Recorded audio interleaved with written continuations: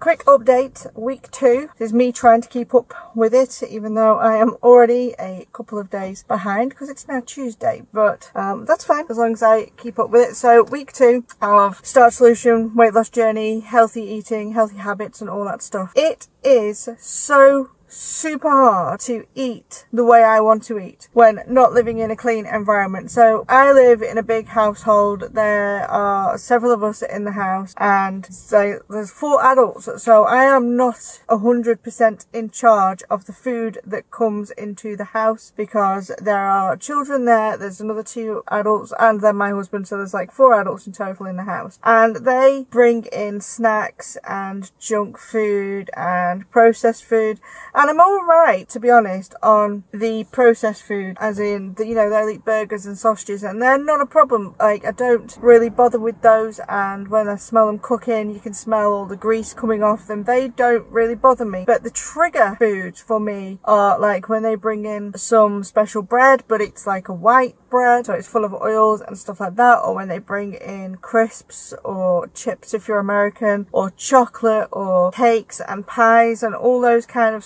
things, especially later in the day when it's like harder, you it's not willpower, is it? It's that kind of like decision fatigue is not as strong. So you end up picking on it. Like yesterday, I had a slice of apple pie for no reason. The day before that, it wasn't ice cream. And yeah, it's really hard to just not eat that stuff that are in the house because they are designed for us to crave them. They're designed to be high calories, high fat, and our bodies are designed to eat high calories and high fat. But we're not designed to live in a place where abundance. We're supposed to crave the high fat and high calories because food would normally be scarce if we were living as we're, we're supposed to. But obviously we've designed a world where food is just completely accessible and with that the corporations have designed food that we want to eat a lot of which is why you never have a problem. You never hear someone who binge ate a load of broccoli. You always hear that they binge ate crisps and cake. So the foods are just designed that way and when they are in the house it is super super hard not to eat them even if I'm not hungry and I've really been struggling with that. My meals have been spot on. You know, um, I've had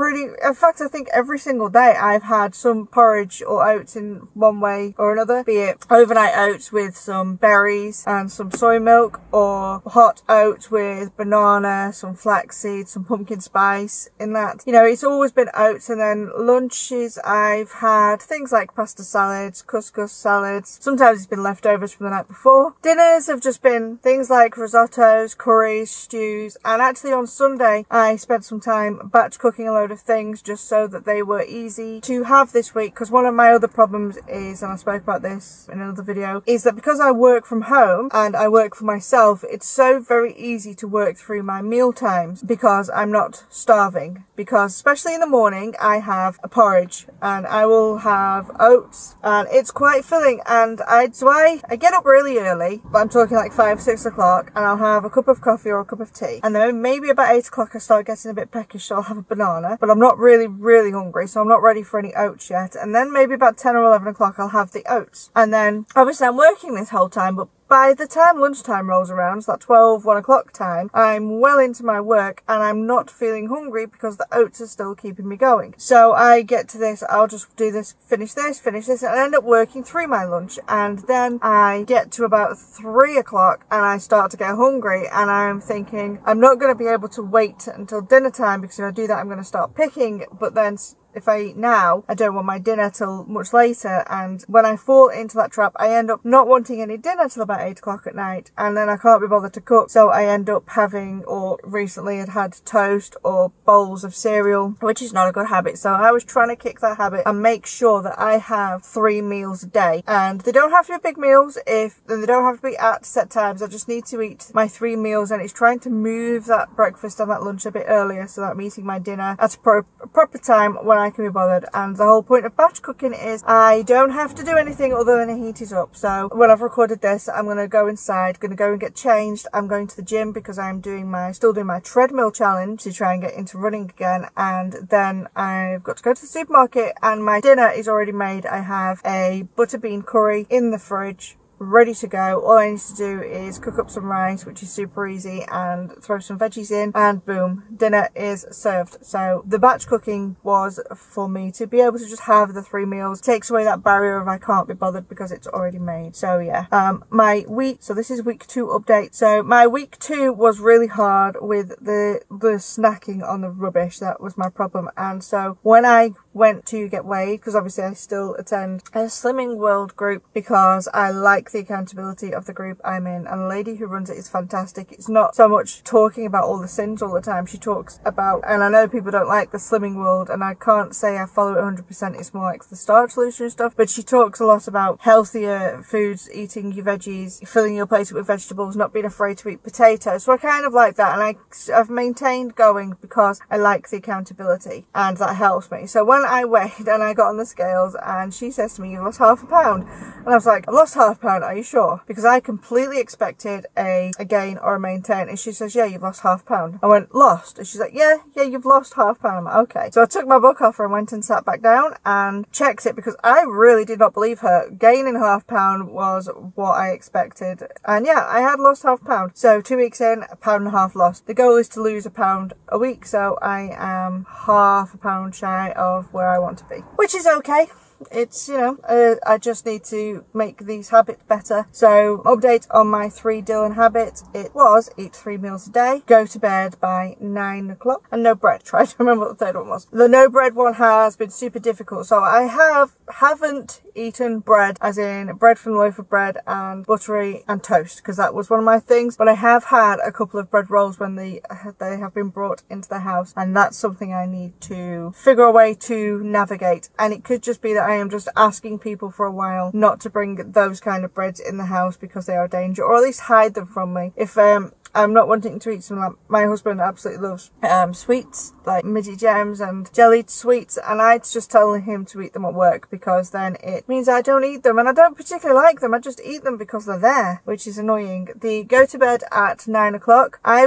could say most nights I have been hitting that target the idea is to be in bed for nine light out of 10 o'clock and there's probably been about two times I've not managed it just because other things have been going on but most part I've been getting myself to bed at a better time and I can really feel the difference. I feel better and have better energy. The three meals a day I've just talked about most of the time I'm managing it. Again, it's just been a couple of days where I have slipped into the old, old habits. In fact, there was one day where it was actually out of my control. I just didn't get, manage to get my dinner and because we had to pop to Liverpool and I didn't get lunch and we were so late back I didn't get any dinner either and I ended up on a bowl of cereal. So that wasn't fantastic, but it was a thing I just didn't have control of and but I also didn't have contingency plans in place for those things happening. Now I have batch cook, so if that was to happen again, I could just whack something out of the freezer, warm it up, and I have food. Fingers crossed that that would work. So yeah, um, yeah. So that's those three. The treadmill thing that I'm trying to do is I want to get back into running. Not that I ever made it into being a full runner before. It was still always hard, but you know, it's just I want to be a runner. I like running. When I have done it previously, I've enjoyed it, and so so I set myself this challenge that I'm going to go on the treadmill and try and improve so much that I can eventually just run a solid 15 minutes on the treadmill non-stop. Doesn't matter what the speed is, I just need to be able to run 15 minutes. And then once I've hit that goal, I will increase it to maybe trying to run 20 minutes, then 30 minutes, then increasing my time, and then increasing the incline, and then eventually going outside. And the goal for the year is to try and run a full 5k, any speed, start to finish. So I did